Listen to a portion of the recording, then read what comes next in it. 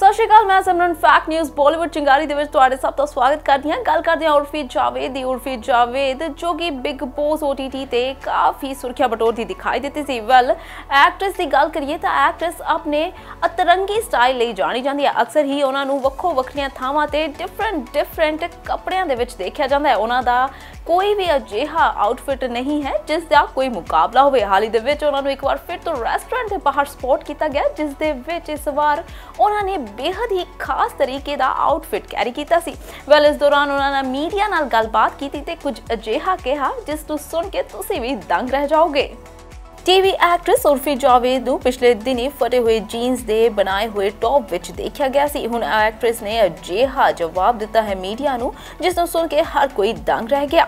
Social media ਦੀ ਸਨਸਨੀ ਉਰਫੀ ਜਾਵੇਦ ਛੋਟੇ ਪਰਦੇ ਤੇ ਐਕਟ੍ਰੈਸ ਬਣ ਪਹਿਚਾਨ ਨਹੀਂ ਬਣਾ ਸਕੀ, ਪਰ ਉਸਨੇ ਆਪਣੇ ਅਜੀਬ ਫੈਸ਼ਨ ਨਾਲ ਕਾਫੀ ਸੁਰਖੀਆਂ ਬਟੋਰੀਆਂ ਨੇ। ਦੁਨੀਆ 'ਚ ਸ਼ਾਇਦ ਹੀ ਕੋਈ ਅਜਿਹਾ ਹੋਵੇਗਾ ਜਿਸ ਨੇ ਉਰਫੀ ਦੀ ਡਰੈਸਿੰਗ ਸੈਂਸ ਦਾ ਮੁਕਾਬਲਾ ਕੀਤਾ ਹੋਵੇਗਾ।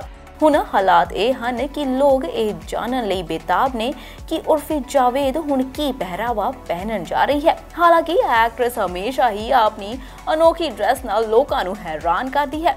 ਪਰ ਇਸ ਵਾਰ ਉਹਨਾਂ ਨੇ ਫੈਨਸ ਨੂੰ ਪਹਿਲਾਂ ਹੀ ਦੱਸ ਦਿੱਤਾ ਹੈ ਕਿ ਉਹ ਹੁਣ ਕਿਹੜੀ ਆਊਟਫਿਟ ਪਹਿਨਣ ਜਾ ਰਹੀ ਹੈ। ਉਰਫੀ ਜਾਵੇਦ ਨੂੰ ਹਾਲ ਹੀ 'ਚ ਇੱਕ ਰੈਸਟੋਰੈਂਟ ਦੇ ਬਾਹਰ ਸਪੌਟ ਕੀਤਾ ਗਿਆ। ਹਮੇਸ਼ਾ ਦੀ ਤਰ੍ਹਾਂ ਇਸ ਐਕਟ੍ਰੈਸ ਨੇ ਆਪਣੀ ਡਰੈਸ ਨਾਲ ਸਾਰਿਆਂ ਨੂੰ ਹੈਰਾਨ ਕਰ ਦਿੱਤਾ। ਉਸ ਨੇ ਟੌਪ ਦੇ ਤੌਰ ਤੇ ਜੀਨਸ ਪਹਿਨੀ ਸੀ ਉਸ ਦਾ ਇਹ ਫੈਸ਼ਨ ਦੇਖ ਕੇ ਹਰ ਕੋਈ ਹੈਰਾਨ ਰਹਿ ਗਿਆ ਇਸ ਦੌਰਾਨ ਉਰਫੀ ਜਾਵੇਦ ਨੂੰ ਇਹ ਦੱਸਦੇ ਹੋਏ ਵੀ ਦੇਖਿਆ ਗਿਆ ਕਿ ਉਸ ਦੀ ਡਰੈਸ ਮੌਕੇ ਤੇ ਖਰਾਬ ਹੋ ਗਈ ਸੀ ਇਸ ਲਈ ਉਹਨਾਂ ਨੇ ਜਲਦਬਾਜ਼ੀ ਦੇ ਵਿੱਚ ਜੀਨਸ ਦਾ ਹੀ ਟੌਪ ਬਣਾ ਲਿਆ एक्चुअली जो आज मैं कपड़े पहन के आने वाली थी भाई दोनों भी वो मुझसे गलती से हट गया या उस पर कुछ you know it was not working out for me so I have this pair of jeans मैंने काट के I just cut it and I just wore it as a top Urfi अभी तक कोई ऐसा चीज़ बच, बचा है जिससे आप ड्रेस ना बनाए हो? हर चीज़ का आप ड्रेस बना लेती हो। इंसान की चमड़ी तो अभी तक बची हुई है। किसी को मार के किसी की चमड़ी की ड्रेस कितनी अच्छी लगेगी ना? इमेजिन क्या आने वाले समय में देखने को मिलेगा ऐसा ड्रेस ਰੈਸਟੋਰੈਂਟ ਦੇ ਬਾਹਰ ਪੈਪਰਾਜ਼ੀ ਨੇ ਉਰਫੀ ਜਾਵੇਦ ਨੂੰ ਘੇਰ ਲਿਆ ਅਤੇ ਉਸ ਤੋਂ ਸਵਾਲ ਜਵਾਬ ਪੁੱਛਣ ਲੱਗੇ। ਜਦੋਂ ਉਸਨੇ ਉਰਫੀ ਜਾਵੇਦ ਨੂੰ ਉਸ ਦੀ ਪਹਿਰਾਵੇ ਬਾਰੇ ਪੁੱਛਿਆ ਗਿਆ ਤਾਂ ਐਕਟ੍ਰੈਸ ਨੇ ਦੱਸਿਆ ਕਿ ਉਸ ਦਾ ਪਹਿਰਾਵਾ ਖਰਾਬ ਹੋ ਗਿਆ ਸੀ।